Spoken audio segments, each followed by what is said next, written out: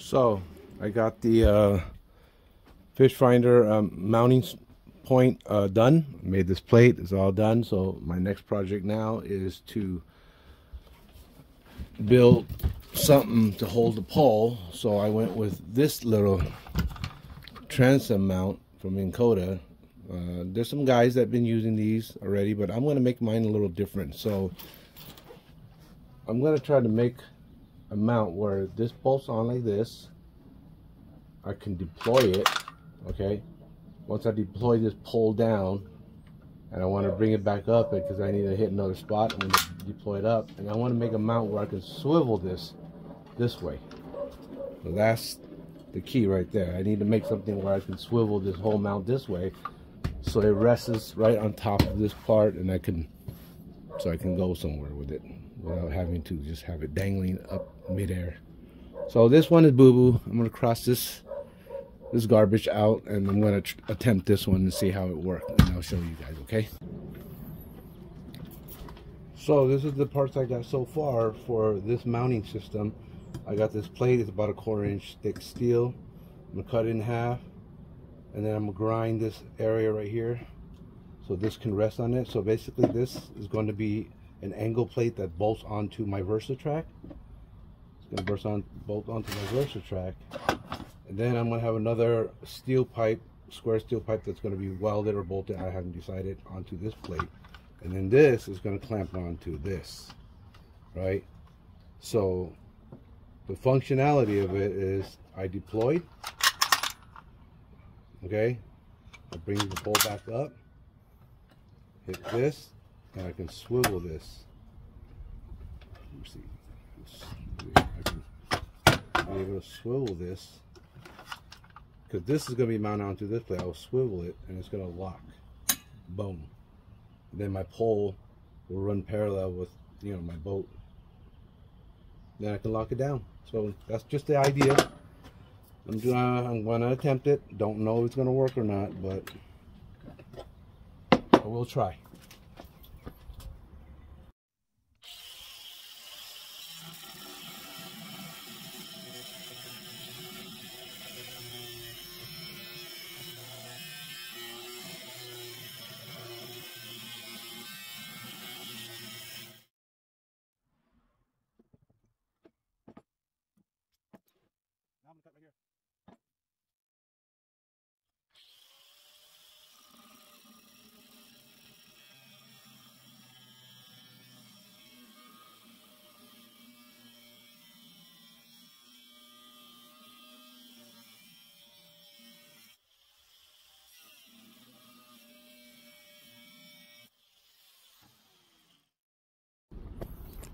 So I just made my first cut with a thin blade. As you can see, it's a very thin blade. I got it down to the depth where I, I need it to get it to. Next, I'm going to use a, a thicker blade to open to open this um, this cut up a little bit because I'm going to need to fold this into a 90 degree. So this this will, will bump if I, if I fold it. So I'm going to open it up a little bit so I can fold it to a 90 degree and then I'm going to hit a weld all the way across it. Okay. Thicker blade.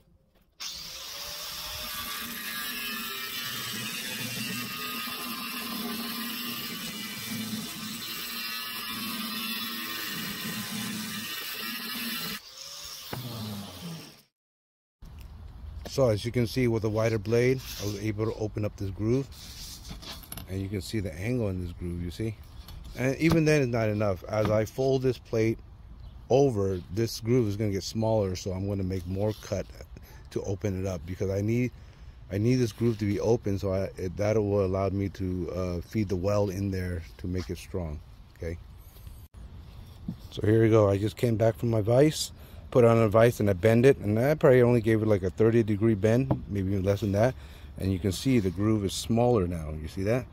So I'm going to run it with the same blade, open it up a little more, bend it a little more. And I'm going to continue to do that until I get the right angle and make making sure that this groove is big enough for me to feed some well in there.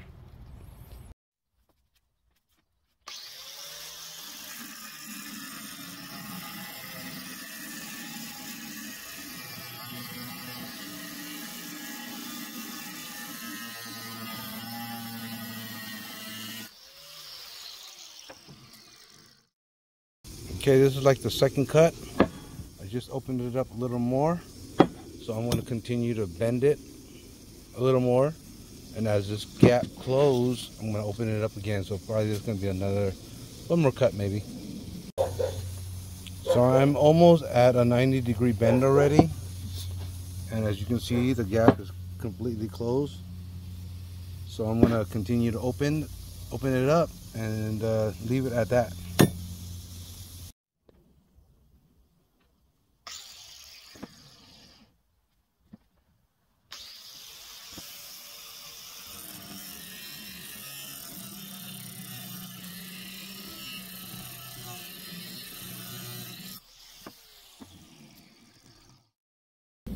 Okay, this looks like uh, the final cut. The groove has widened enough for me to put some well in there.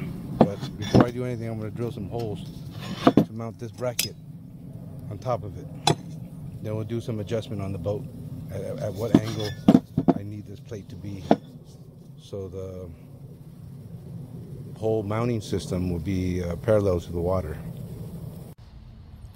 So first thing I'm going to do with this plate is drill out some holes where I want to mount this uh, turntable. So I have already marked and punched four holes that are going to drill right through this this metal and into this turntable and the hole's probably going to mount right there and there's going to be one hole there and the reason why I want to do that because I don't want to use these holes these are way too big I'll have to run like a M12 or M14. I just want to run a M10, M10 to mount this turntable into this bracket. And then I'm going to drill two hole here, but it's going to take some measurement that's going to bolt onto my Versatrack. Okay, just got done with uh, the four holes. These are the four pilot holes, small maybe one eighth, even less than that. These are just pilot holes that's going to help me align to drill this piece on there. So what I'm going to do is I'm going to clamp on this piece, reverse it, drill it from the other side. That way I can match this turntable. And from there, I'm going to just open up those holes into about 10, 10 millimeter size. So I got the turntable bracket clamped down into this right angle bracket in position where I want it. These are four pilot holes that I just drilled out. So all I'm going to do is drill through these holes and it'll make it through this turntable. And now I have pilot hole on this side and that side. And then I can drill it individually to uh, an M10 hole. All right, my little uh, pilot holes drilled out all the way through is drilled out all the way through to the turntable bracket. So from here I'm just gonna leave it like that and start opening it up with a, a bigger drill bit until I get to an M10 size hole. There you go. All four holes drilled out to M8 countersunk done for the day. Next step I'm going to mount it onto the boat and uh, adjust that angle. We're going to bolt it on first we're going to bolt the turntable onto this plate and we're going to put onto the boat and we're going to determine where these holes are going to be drilled onto the Versatrack. So as you can see, uh, this right angle plate, I'm going to call it a right, right angle plate, the base plate actually, uh, the holes are already drilled out to M8. I already bent it on the vise, uh, roughly a 90 degree bend, but it seems like because this part of the boat is still is is pivot up this way, so I still need to bend a lot more uh, to get it flat. So my my boat is level right now, but you see how this is sticking up still? I need I need this line right here, this platform to sit flush with the boat, with the angle that I have right now. So I'm gonna bend it a little more. So as you can see, there's a flat surface area right here where this bracket is actually sitting flush right here in this area where this the uh, the bolt's going to go through here the Versatrack so you can see I bend it a lot already but I'm going to lay it flat. This is pretend it's bolted on right now. And as you can see the level is still not there center yet. So the whole idea is to get this surface area to sit true flat like the boat. So the boat's sitting true flat right now because I took this indicator and I put it onto my transducer in the back. It's sitting like, you know, right there. So I still have a several degree to bend this plate to get it that to set a center. Okay. So however this plate's going to sit, I'm utilizing these little stoppers, kind of like a chair stopper, plastic, hard plastic. Can pick them up at Home Depot. I'm going to screw these on to the bottom of that that base base mount, let's just call it. So as I'm sliding it back and forth when I need to move it out of the way, I don't scratch up all my uh, boat. And plus, you you need that support so it doesn't move as you put weight on it. Okay. Alrighty, looks like I got the angle just right. So I'm going to sit this area right there, flush to my rail. Okay, and you can see my two stopper that I'm going to position it right there. I'm going to bolt it onto this plate. And as you can see, my bubble is right there. It's a little high on the right side, but that's okay because once you weld this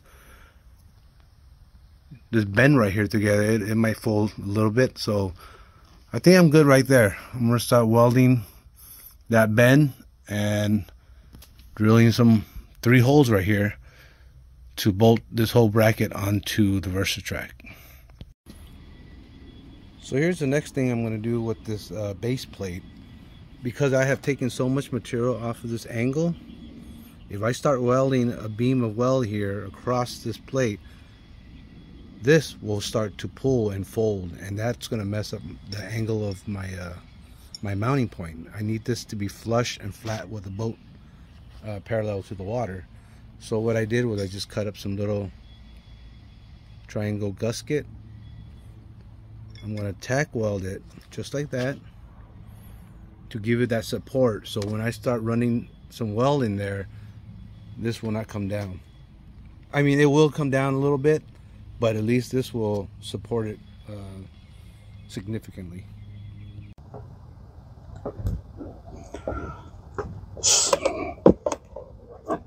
So all I'm going to do is just hit a bead of weld on there, just one one tack, just to hold it in place. And I'll check my level later because I might have to uh, cut it off if the angle is not correct. So that's one piece that I got laid out right there.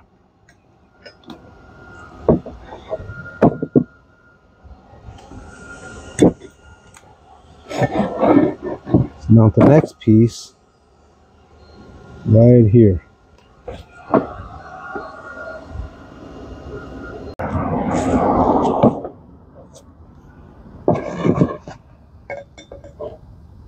So here's the second gasket that I'm going to weld on here. Just a little tack, just to hold it in place, just like that. Okay.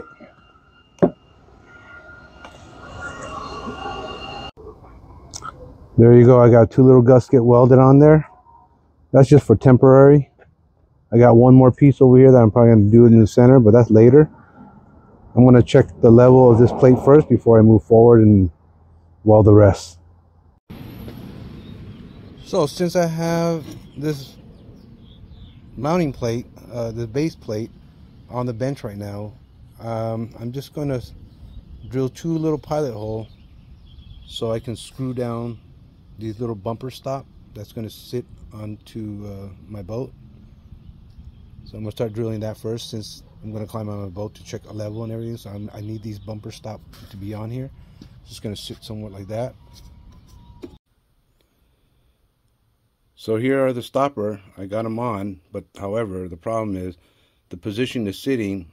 I can't have it through like this because the turning point of the other bracket that sits on top of it is in the way. So I'm going to have to nub off whatever extra bolt that's sticking out right there. Luckily, I threaded it, so it is threaded onto this plate, which is fine. I'm just going to use some uh, Loctite and secure it really tight right there. So right now, I'm at the point where I'm going to mount it and drill the hole for the Versa track. So as you can see, the stopper's just there. So if I get this to be flush onto my Versatrack, right around there. So you see my level? It's close enough. To me, that's good. That's mean this plate is sitting flat to the water surface or flat to this boat.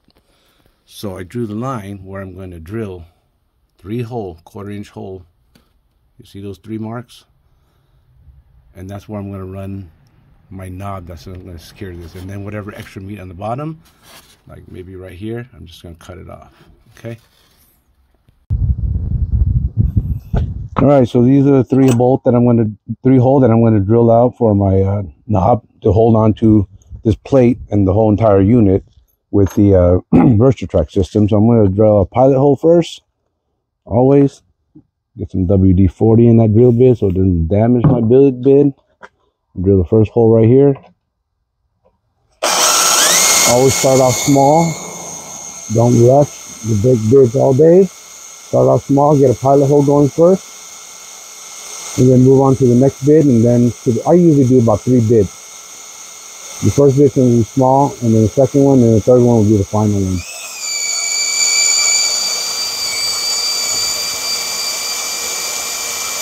Okay, I'm not going to film this whole entire process because it's going to take up a lot of time. So I'll show you when everything is done, okay? All right, here's the finished product. All three holes drilled out to quarter inch which I'm going to be using this carriage bolt right here. I don't know if you can see it. Okay, this carriage bolt is going to go into the Versatrack. And it's going to come out like this. And then I have three knobs that's going to hold this whole unit together. And those knobs, I didn't go cheap. I didn't buy no plastic one. I got some stainless steel one. So because because the fact that this unit and on top of this unit is so much weight. So I went with three knobs, all stainless steel, bolt, all stainless steel. That way it gives it extra strength, okay? And durability and no rust, no corrosion, none of that stuff. So since I'm already here, I am going to nub off this extra protruding bolt, just cut it off. I'm probably going to use Loctite and hold these stoppers in place. And that's where I'm at. Let's get it onto the boat and mount it and see what it looks like. Here's the finished product of my base plate, which is the most important plate. This is the starting point of everything else that will stack on top of it.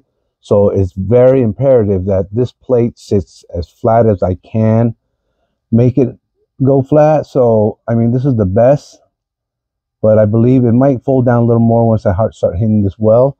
So these are the knobs that I'm using to hold it in place. There's three stainless steel knobs, solid. I mean, this thing, this thing not even budging. And on the other end, my stopper sitting where it's supposed to sit. And here's where the level as it's being bolted down. It's a little bit on the high side on the right side, but that's okay because once you start welding, it's going to move a little bit. And also I can still play around with some adjustment here. These holes that I drill out for a quarter inch, I'm going to oblong it a little bit. Okay, I'm going to stretch it out a little bit, each hole, just a little bit, just to have enough room to uh, wiggle this plate around. So the next thing I'm going to do is I already drill out three holes for my mounting point on my Versatrack. Since there's so much meat left right here, I have to remove it. So I drew a line right here about, uh, it's about an inch below these holes. So I'm going to cut it off right now you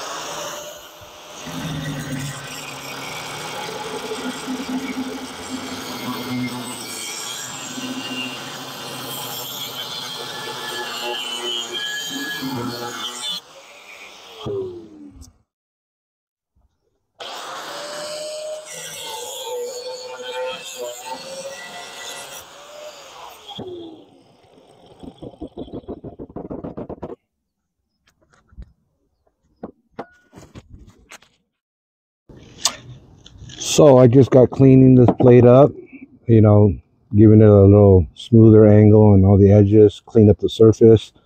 Uh, I'm getting ready to install the middle gasket right here. And then from there, I'm going to weld a beam of weld all the way across. And then we'll put it back onto the boat and test it out for level. Okay.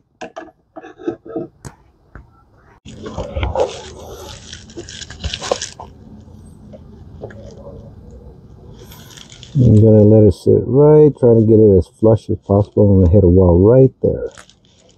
You see, right around there. That looks good. Take this rice off. Another one right here. Oh man, that adjust my brightness. Okay. You to hit all the weld on these gasket first. Get that out of the way. Let's see. One right there.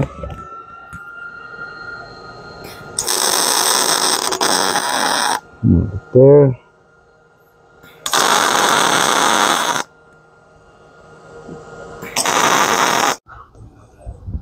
So here's the weld that I hit on all the gasket, on all the corners as much as I can. it should be where it's at right now. So I'm not going to weld it yet. I'm just going to mount this piece on and start with the the the mounting point of the uh, Minn transom mount. So I'm gonna go from there. I'll, I, I can weld this later, but I had to adjust my uh, crazy ass helmet now here because I'm welding outdoors. So man, it was bright. It literally burned my eyes right now. So there you go.